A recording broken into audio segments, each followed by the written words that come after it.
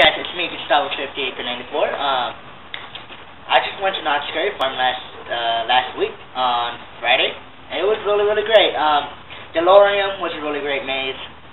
I went a day after opening night. It was boring, but worth it.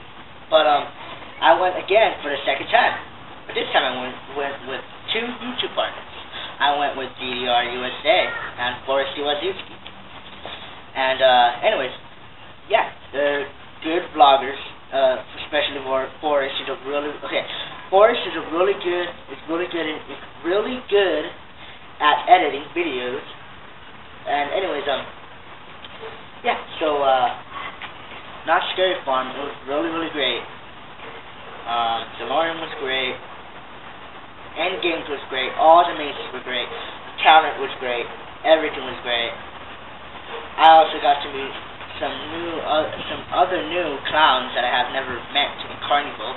But uh, shout out to Art Dracula. Thanks for scaring the crap out of me. Um, so yeah, next week on Friday, October 21st, the new GS Ghost Seekers, me, DDR USA, Forrest Wazowski and his wife, and also DDR USA's mom, we're all gonna go to Universal. We're all gonna go to Universal Horror Nights on the uh, October 21st. So we'll be filming over there. It'll be fun. It'll be intense. It'll be scary. So uh, yeah. And this time I got like a four gigabyte uh, memory, so I'll probably have more pictures and more clips than I did at Knott's Scary Farm when I had to went the second time. So uh, I'll post a link below on both of their channels, Forrest Wazowski's channel and DDR USA. And uh, go subscribe to them. Go subscribe to them. Go subscribe to me.